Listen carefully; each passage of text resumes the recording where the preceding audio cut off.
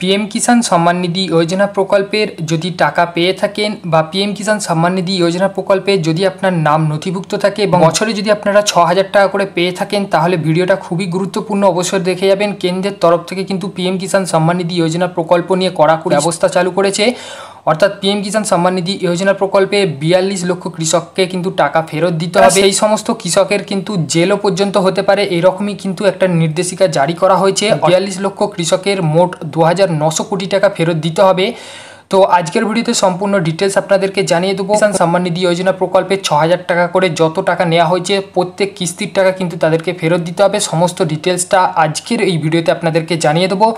অবশ্যই ভিডিওটা প্রথম থেকে শেষ পর্যন্ত দেখবেন। এছাড়া আপনারা যে জেলা থেকে ভিডিওটা দেখছেন, সেই জেলার নামটা কমেন্ট করে আমাদেরকে জানিয়ে দেবেন। এছাড়া আমাদের চ্যানেল নতুন হয়ে থাকলে পরবর্তী ভিডিওর লেটেস্ট নোটিফিকেশনগুলো সবার প্রথম এই চ্যানেল থেকে পাওয়ার জন্য চ্যানেলটি সাবস্ক্রাইব করে পাশের বেলাইকন টিপে নোটিফিকেশন অল করে রাখবেন। এছাড়া ভিডিওটি ভালো লাগলে অবশ্যই ভিডিওটিতে একটি লাইক দিয়ে দিবেন।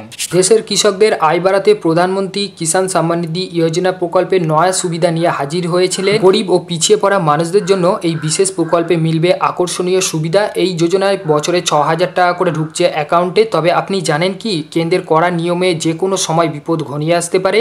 শুধু তাই নয়, এমনকি যেতে হতে পারে জেলে। করোনার সংকটের মধ্যে দেশের কৃষকদের অ্যাকাউন্টে দু হাজার টাকা করে দিচ্ছিলেন কেন্দ্রীয় সরকার। এই স্কিমের আওতায় থাকা কৃষকদের সরকার বার্ষিক ছ হাজার টাকা আর্থিক সহায়তা দিয়ে থাকেন এবং এই যোজনায় বছরে ছ হাজার টাকা করে অ্যাকাউন্টে ঢুকছে।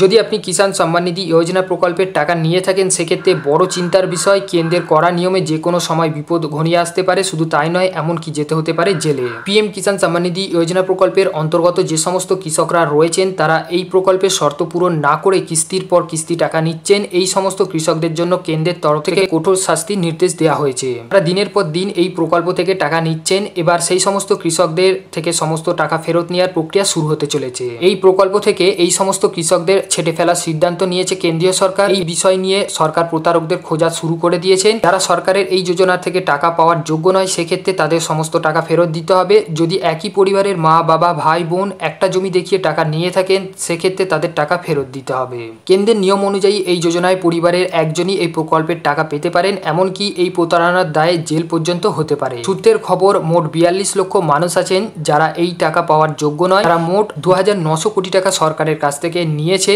এবার সেই টাকা ফেরত দেওয়ার সময় চলে এসেছে। বন্ধুরা, এখানে আপনারা দেখতেই পেলেন, পিএম কিষাণ সম্মান নিধি যোজনা প্রকল্পের সুবিধা যদি আপনারা পেয়ে থাকেন, সেক্ষেত্রে আপনাদের জন্য একটা চিন্তার বিষয় রয়েছে। কারণ কেন্দ্রের তরফ থেকে একটা কঠোর নির্দেশ জারি করা হয়েছে। অর্থাৎ পিএম কিষাণ সম্মান নিধি যোজনা প্রকল্পের যারা শর্ত পূরণ না করেই টাকা নিচ্ছেন, তাদের ক্ষেত্রে কিন্তু সেই টাকা ফেরত দিতে হবে। কি আপনাদের জেলও হতে পারে। অনেক পরিবার রয়েছে যারা কিন্তু একটা জমি দেখিয়ে বাবা, ভাই, বোন, মা সবাই কিন্তু টাকা নিচ্ছে। সেক্ষেত্রে কিন্তু তাদের সেই টাকা ফেরত দিতে হবে এবং পরবর্তীকালে কিন্তু জেলও পর্যন্ত হতে পারে। এরকমই একটা নির্দেশ জারি করা হয়েছে। তো এই পিএম কিষাণ সম্মান নিধি যোজনা প্রকল্পের শর্ত অনুযায়ী একটা পরিবারে কিন্তু একজনই পিএম কিষাণ সম্মান নিধি যোজনা প্রকল্প থেকে টাকা পেতে পারে। একটা পরিবারে যদি একাধিক ব্যক্তি যদি টাকা নিয়ে থাকে, অর্থাৎ পিএম কিষাণ সম্মান নিধি যোজনা প্রকল্প থেকে টাকা নিয়ে থাকে, সেক্ষেত্রে কিন্তু তাদের সেই টাকা ফেরত দিতে হবে। ছিল আজকে পিএম কিষাণ সম্মান নিধি যোজনা প্রকল্প নিয়ে উঠে আসা একটা লেটেস্ট আপডেট তো ভিডিও যদি ভালো লেগে থাকে, তাহলে অবশ্যই ভিডিওটিতে লাইক দিয়ে দিবেন এবং বন্ধুদের সঙ্গে ভিডিওটি শেয়ার করে তাদেরকে ইনফরমেশনগুলো জানার সুযোগ করে দেবেন এবং আমাদের সঙ্গে যুক্ত থাকার জন্য পরবর্তী নেক্সট আপডেটগুলো পাওয়ার জন্য চ্যানেলটি সাবস্ক্রাইব করে পাশের বেলাইকন টিপে নোটিফিকেশন অল করে রাখবেন।